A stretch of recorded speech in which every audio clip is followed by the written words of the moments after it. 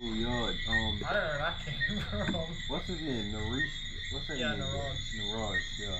Tell me about it. I forgot about that. So I was going good. That's odd. Someone just pulled that out of the clouds. I don't know how.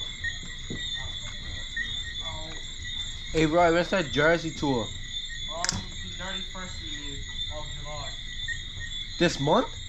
Uh, This month? yeah.